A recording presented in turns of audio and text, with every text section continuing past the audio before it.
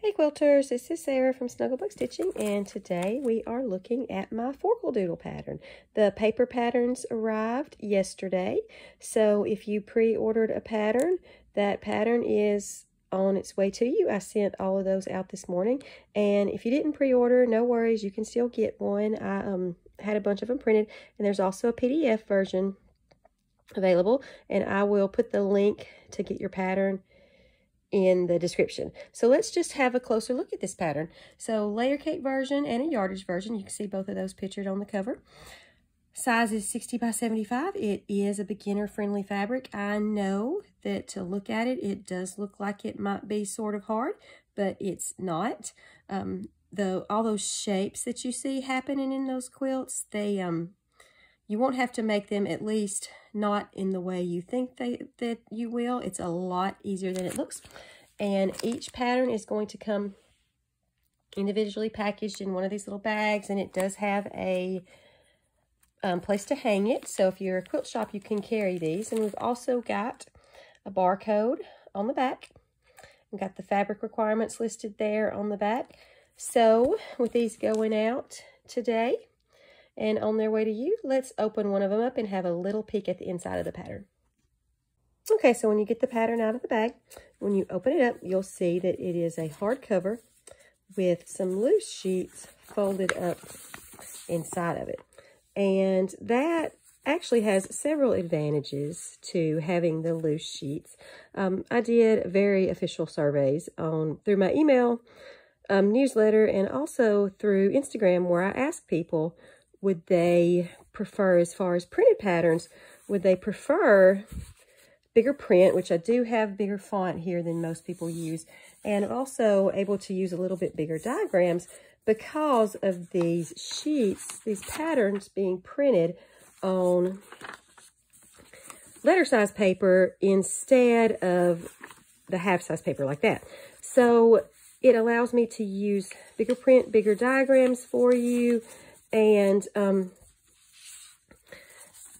it also saves a little bit on cost, which I pass those savings on to you. And my patterns are a little bit cheaper than most.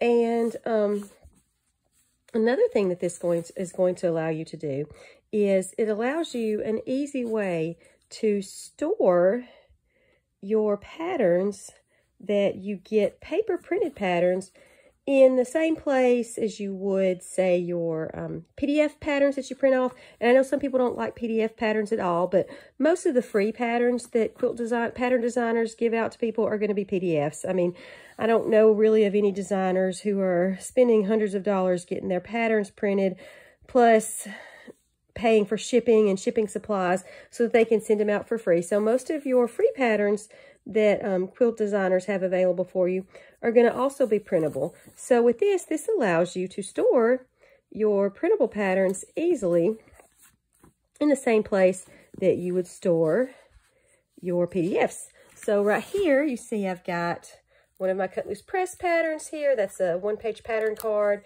Um, thumbing through, you can see some of my other patterns. These are all, so here's another one that I did like Forkledoodle. This is Dublin Fancy. And you can see I've just got it in clear protectors in, um, in a notebook. So I've got all my patterns in one place there. Easy to find. And here's one. Now this one I had professionally printed. Dublin Fancy was, Fancy was professionally, professionally printed.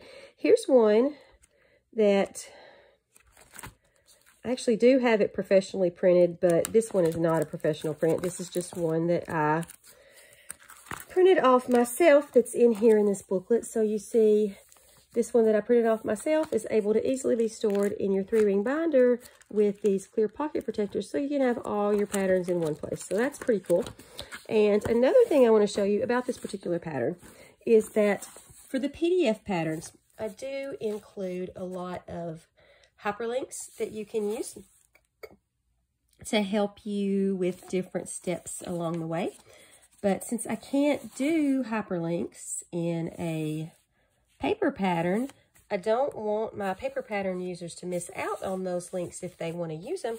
So on the last page, I have some QR codes. And if you're not familiar with QR codes, they're really easy to use.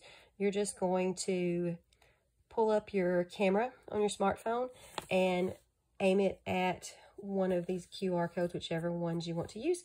Like you're going to take a picture and don't take a picture and then a little link will pop up pop up and you can click on that link so here we have the helpful links qr code and when you use that qr code it's going to come to a page on my site that has all the links that you would use that were available in this pattern in one page, on one page, and you can just click on whichever ones you want to look at.